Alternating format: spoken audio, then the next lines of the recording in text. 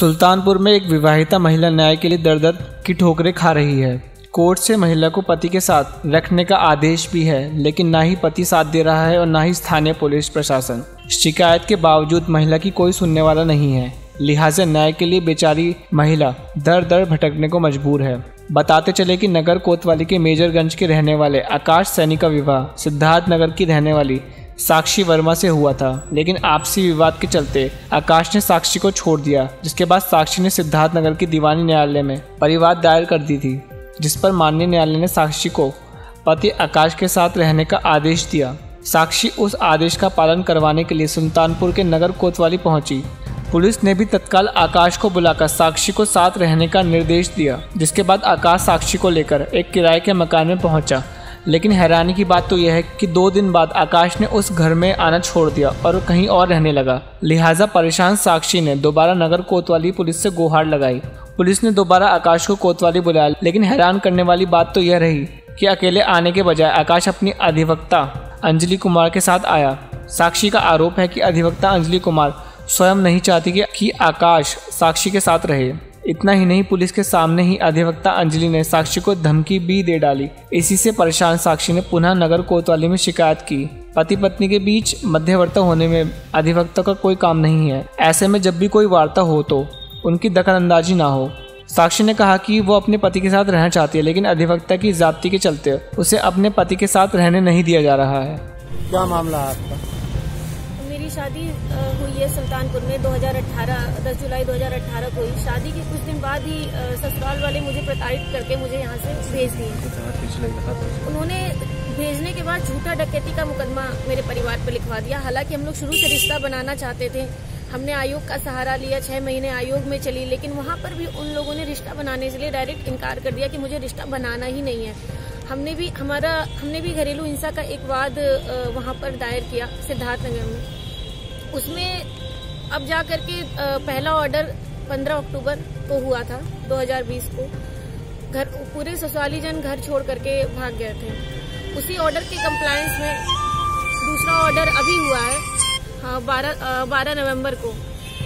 और उस ऑर्डर के लिए उस ऑर्डर को लेकर मैं जब कोतवाली गई तो मेरे हस्बैंड और उन, उनके अधिवक्ता अंजलि वो दोनों लोग आई और मुझे आ, ये कहा गया कि आप उसी घर में क्यों जाना चाहती हैं? जहाँ आपके हस्बैंड रहते हैं, वहाँ क्यों नहीं जाना चाहती? मैंने कहा कि कहाँ रहते हैं? उन्होंने झूठा बोला कि वो कहीं पर भी ले जा रहे हैं, आप साथ जाइए। मैंने बोला, ठीक है। और मैं उनके साथ चली गई। अंजलि, जो उनकी अधिवक्ता है बार बार मुझे प्रेशराइज करी कि आप जाइए, सब सही होगा। मैं गई और वहाँ से दूसरे दिन ही हस्बैंड मेरे घर छोड़ करके निकल गए। मतलब मुझे वहाँ छोड़ करके ना ही कोई व्यवस्था, खिड़की खिड़की दरवाजे वहाँ के अभी भी ऐसे खुले हुए हैं। ये देखिए आप देख सकते हैं, ये सारे खुले हुए हैं, लेकिन मुझे इस पे कोई ऑब्जेक्शन नहीं था। मुझे ये था कि हस्बैंड मेरे रहे, ये इसमें बेडरूम तक में कैमरा लगा हुआ है वहाँ पे। सिर्फ़ में, मुझे बस ये था कि हस्बैंड मेरे रहे, लेकिन वो जब गायब रहे तो मैंने उनको कांटेक्ट किया। उन्होंने मेरा फ़ोन स्विच ऑफ़ कर लिया। अपना फ़ोन उन्होंने स्विच ऑफ़ कर लिया। कांटेक्ट करने पे उनसे कांटेक्ट नहीं हुआ।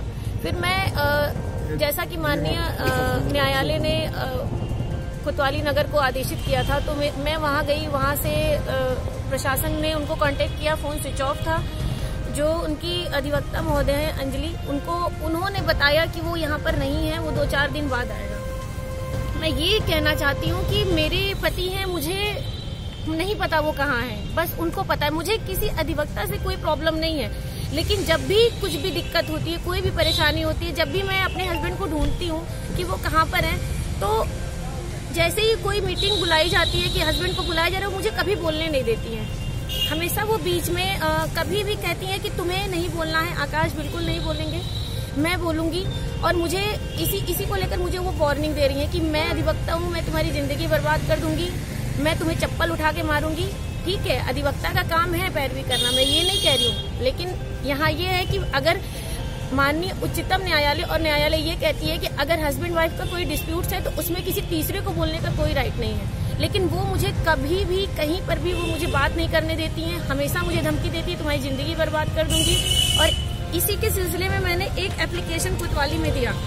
ये 28 तारीख को दिया कि इसमें मैंने साफ़ साफ़ लिखा है कि उनके खिलाफ कोई भी कार्रवाई ना की जाए। बस उन्हें समझाया जाए कि हमारे पति पत्नी के बीच में ना बोले।